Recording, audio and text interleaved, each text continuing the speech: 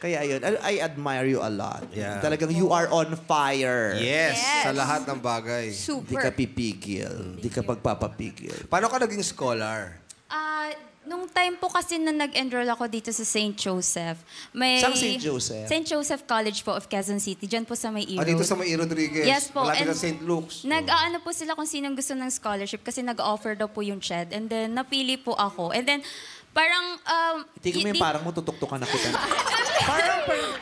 Yaman na! And then, mababal. Mayaman na! And then, mas mura po kasi yung, ano niya, yung tuition niya compare po sa mga Pag school na inano ko. So, parang full full scholar na din po. Hindi naman ito, yung parang. Pag, pag, pag scholar ka ba, bawal mag-t-shirt? Ay, pwede naman po. Bakit? Bakit lang po yan? Eh, kasi nga scholar. John? Alam mo yung joke mo? Pwede yun.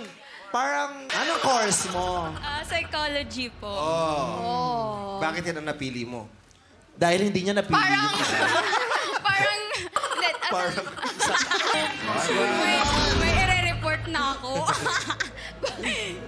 Ano, Ah, bakit? gusto ko lang po siya. Gusto ko po siya. Feeling ko Bakit po, parang ano? feeling naman, feeling ko po ano, um, may, parang para sa akin po siya.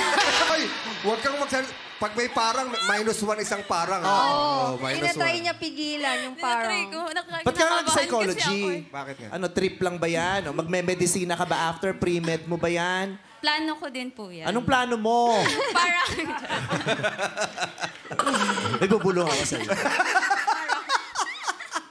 well, Ah, ano yan? Ano yan? Ano mo? tungkol sa'yo. Minura ko. Hindi, charot lang.